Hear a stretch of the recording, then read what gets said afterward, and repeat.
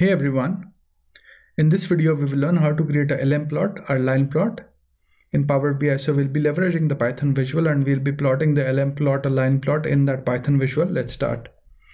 So I've already got a table here with me which shows me the calendar year, sales amount and total product cost and I've also uploaded this file to GitHub. So uh, have a look at the video notes and I'll leave the link to the file so you can download the file and do the tutorial along with me. So I've already got the data set that I need in um, uh, over here in, in uh, the table X. And what I'll do is I'll just do a control C and control V. So I'll do a line plot with the sales amount and total product cost.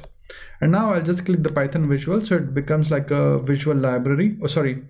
So I click the Python visual and you can see that these data sets available to us calendar year sales amount and total product because these are the fields available and it's already uh, deduped the data set. So uh, we need to import a few library here. So it's already imported pandas by default so we will import matplotlib.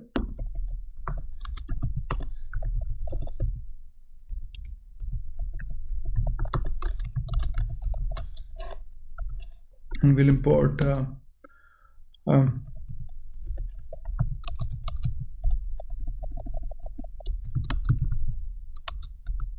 and now uh, what we need to do is we just need to say um, lplot is equal to sns dot uh,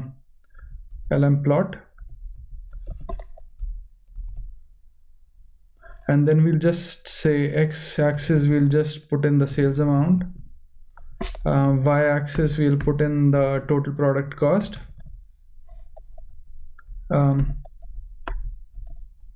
and then we will just say data is equal to data set. And now all I need to do is just plot this. So I can say plot, plot dot show. And we run this. And uh, so I'll just maximize this for now.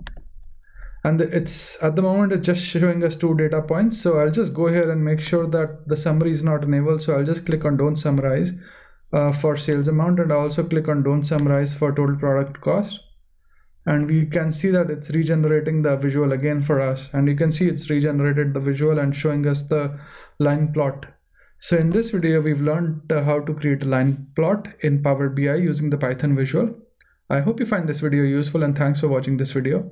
Uh, please do subscribe to my channel and like my videos if you enjoy what I'm doing. Do let me know if you would like me to take any specific topics. Cheers, bye.